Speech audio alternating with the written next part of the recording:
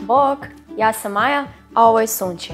Danas vam pomažemo odučiti vašeg ljubimca od loših manira za stolom koji mogu naštetiti njegovom zdravlju. Naši ljubimci su često skloni tome da pohlepno jedu svoje obroke, pogotovo psi.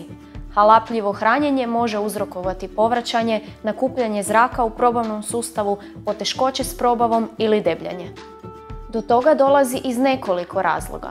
Prvi, vašem je ljubimcu dosadno ili je usamljen, pa zato kada dođe vrijeme obroka, njegovo uzbuđenje poraste.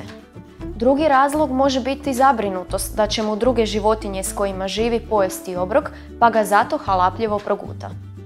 Iza trećeg razloga krije se neki zdravstveni problem, poput poremećaja štitnjače ili dijabetesa, koji također mogu uzrokovati pohlepno hranjenje.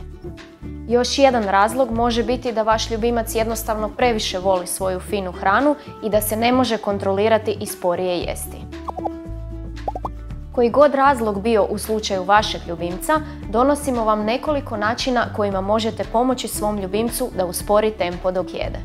Brzinu hranjenja možemo usporiti tako da ljubimac svoju hranu umjesto u zdjelicu dobije kroz rad ili igru. Naučite svog ljubimca pokoji trik ili vježbu poslušnosti koji će mu za nagradu donijeti hranu. Na taj način će jesti tempom koji vi odredite. Osim toga, hranu mu možete staviti u interaktivnu igračku. Tako će jesti polako i usput se mentalno umarati.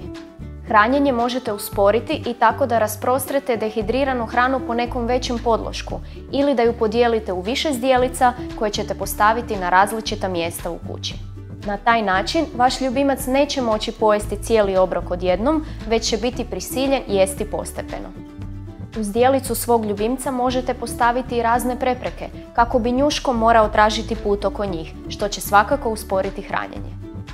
Kao prepreke vam mogu poslužiti loptice, lončići ili bilo koji sličan predmet kojeg ljubimac neće slučajno progutati. Možete pokušati i suljevanje male količine vode u zdjelicu. Svom ljubimcu možete osigurati i zdjelicu za polakše hranjenje. To je zdjelica s ugrađenim preprekama.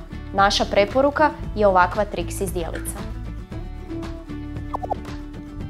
Budite maštoviti, isprobajte razne načine i otkrite onaj na koji će vaš ljubimac najsporije pojesti svoj obrok.